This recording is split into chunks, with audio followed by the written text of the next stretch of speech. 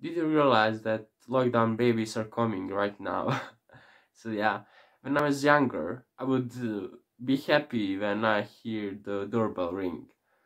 But when I grown up a little bit, I'm just I just want to hide somewhere. So yeah, song can remind you that three minutes is actually long or it's short. So yeah, why my body tells me that I have an insect on my leg or anywhere, and when I look there's nothing there.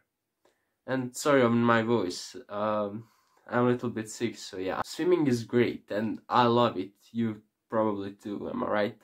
But when you realize, when you get from the water on the land, it's just disgusting because you are wet and everything. I see my closest friend maybe three times a year, and that's it.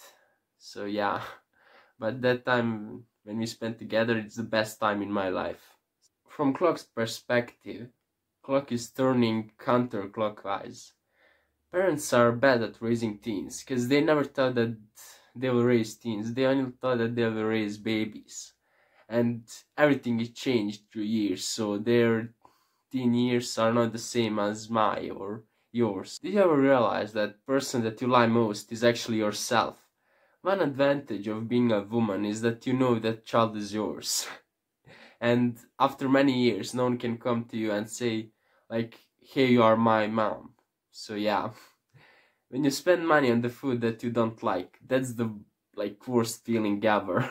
so yeah, arguing with smart person is hard, but arguing with stupid person is impossible.